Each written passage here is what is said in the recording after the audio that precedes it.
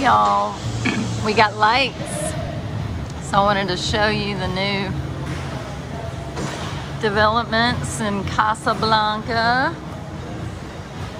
So we're gonna go inside where it's not so noisy and maybe you can hear me.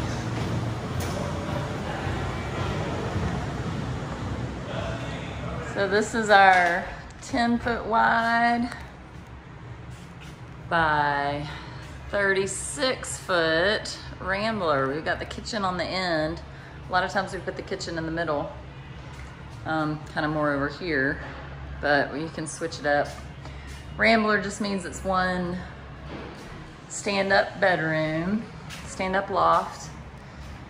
But I'll show you the kitchen first. We got this nice um, peninsula bar. That's gonna have room for three people, I think. And then we're starting to get our cabinets finished. And even some appliances. This is the dishwasher drawer. It's pretty big.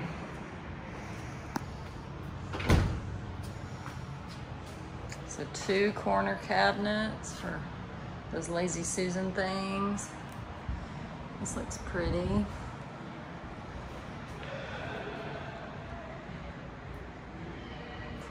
Storage space. And I love this window feature. And then the homeowner's gonna finish the bathroom, so that's already got some washer dryer and a Incinolet, the incinerator toilet. And then of course we've got our storage staircase here with no drawers yet. And let's walk up into the loft. So this is a huge loft. This is 10 feet wide. Got room for a king size bed. She just opted for the half wall. And then the skylight. Escape, oh no, I don't think it comes all the way open. You can just crank it open a little bit. And then this landing is huge. So this is the deluxe loft where you get the L-shaped landing. And then a custom wardrobe with a floating shelf, a little nightstand there, a little step to get up to the bed so that you can see the whole landing. Tons of space back here. I can't remember, I think she has a kitty cat. I was gonna say it's got plenty of room for like a dog bed up here. If you can keep your puppies on their in their own bed. So yeah, it's shaping up. Y'all come see us at the open house on August 28th. And you can see this baby finished. I'll go out the back door and show the back side of the house.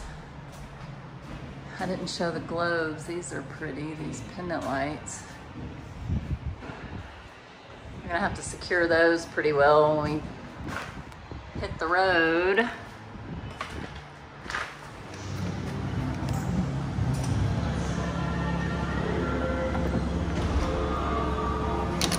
Here's the back side. Casablanca. Giant utility shed there, and then there's another one on the other end. We'll save that for next time. See y'all later. Thanks for watching.